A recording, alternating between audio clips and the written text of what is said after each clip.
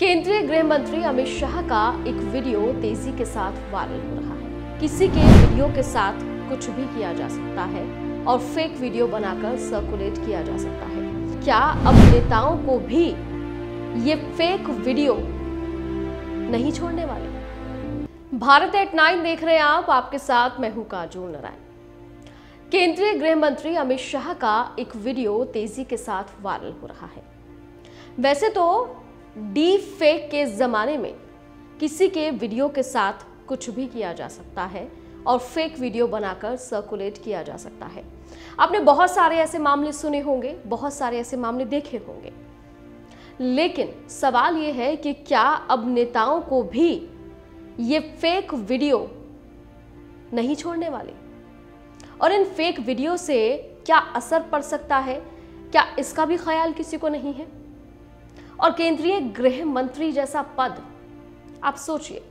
देखिए, लोकसभा चुनाव चल रहे हैं, दो चरण बीत चुके हैं, आरोप प्रत्यारोप का दौर चलता रहता है, राजनीति में सब कुछ जायज़ है।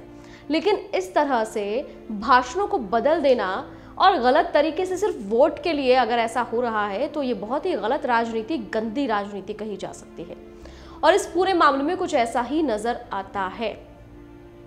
केंद्रीय गृह मंत्री अमित शाह के छेड़छाड़ किए गए वीडियो से इस जुड़े मामले से दिल्ली पुलिस ने तेलंगाना के मुख्यमंत्री रेवंत रेड्डी सहित सात राज्यों के सोलह नेताओं को तलब किया है।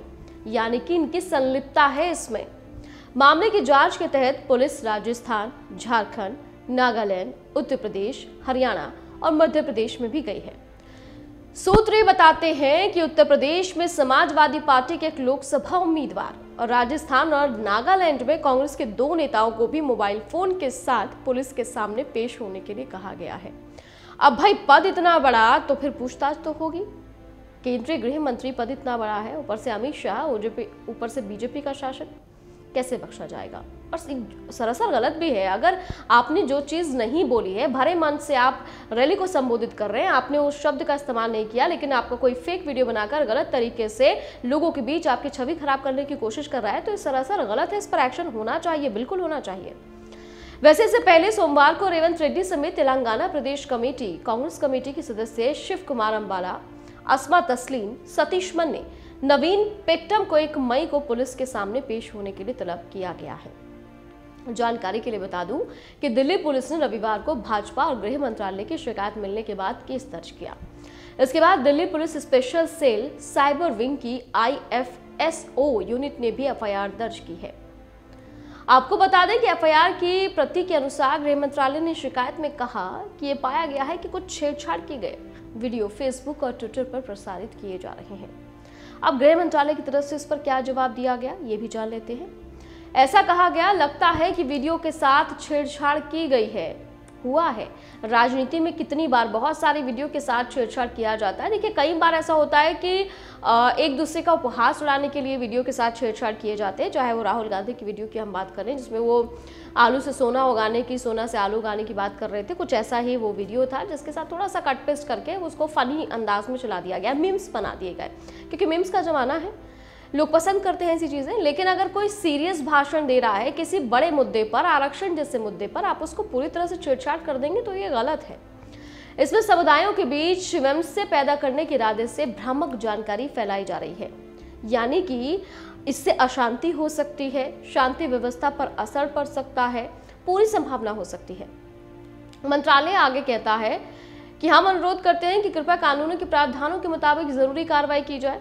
शिकायत के साथ रिपोर्ट दी गई है, जिसमें उन लिंक और हैंडल का ब्यौरा भी है जिसने गृह मंत्री के छेड़छाड़ किए गए वीडियो शेयर किए जा रहे हैं। जी हाँ वीडियो में छेड़छाड़ क्या हुई थी, जरा ये भी जान लीजिए।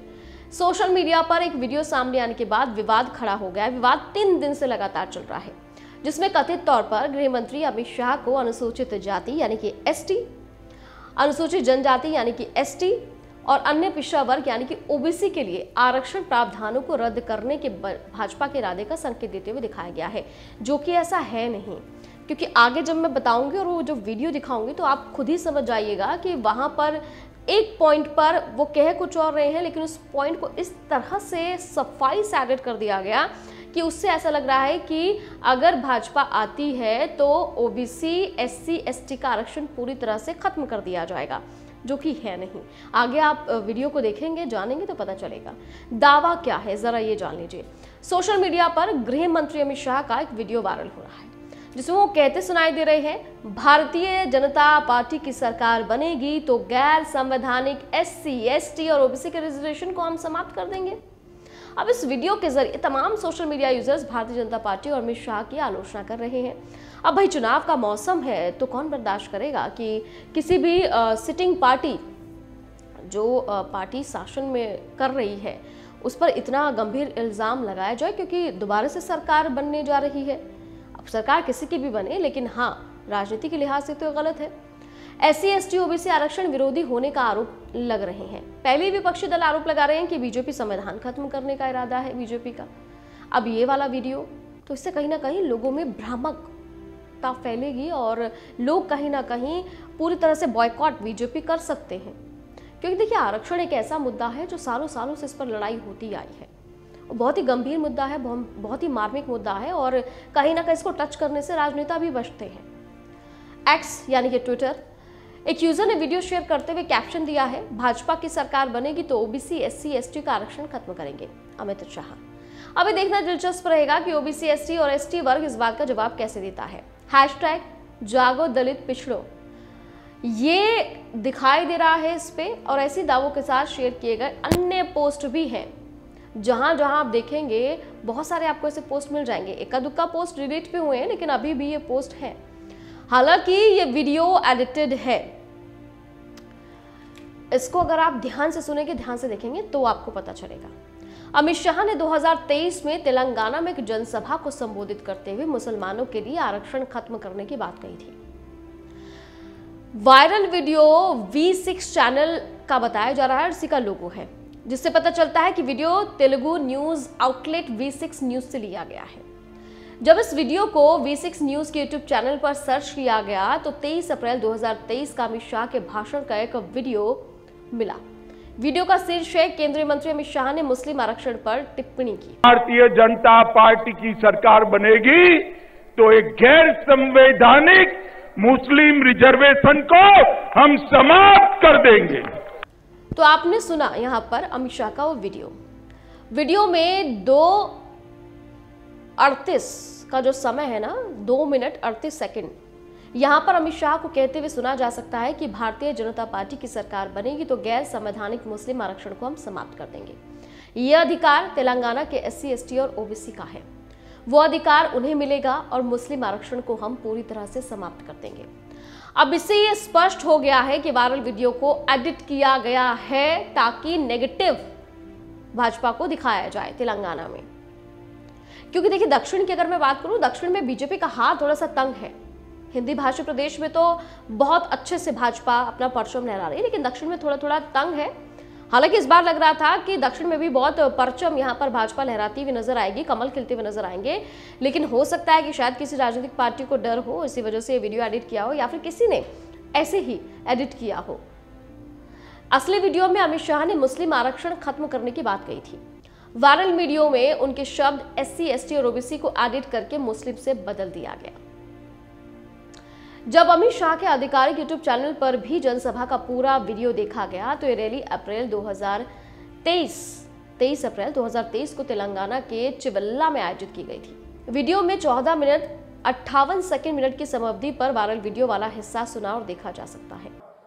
भारतीय जनता पार्टी की सरकार बनेगी तो एक गैर संवैधानिक मुस्लिम रिजर्वेशन को हम समाप्त कर देंगे।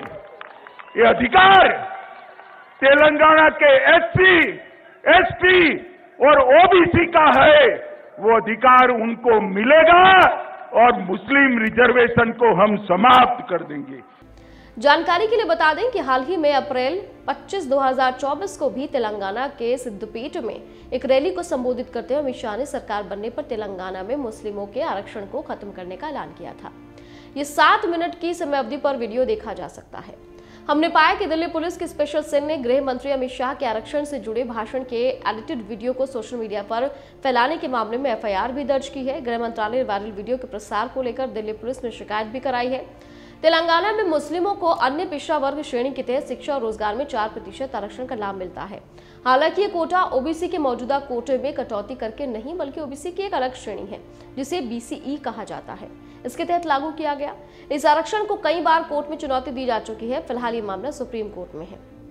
देखिए कहीं ना कहीं इन वीडियो, तीनों वीडियो को आप देखेंगे तो आपको अंदाज़ा लग जाएगा कि भाषण में एस सी और ओबीसी आरक्षण खत्म करने की कोई बात नहीं थी, बल्कि तेलंगाना में मुसलमानों को मिलने वाले आरक्षण को खत्म करने की बात कही इसीलिए देश सोशल मीडिया पे जो दिख रहा है ना, वो सब कुछ सही नहीं होता, सच नहीं होता। इसलिए पहले अगर जब भी आपके पास कोई ऐसा वीडियो आए, उसे परखें, देखें, तब जाके उससे सर्कुलेट करें। यही हम आपसे उम्मीद रखते हैं। और आप भी कमेंट करके बता सकते हैं कि क्या राजनीति में वोट पाने के लिए ये करना सही है। एट नाइन में आजकल इतना ही, कल फिर लौटेंगे, किसी और मुद्दे पर बात करेंगे। धन्यवाद।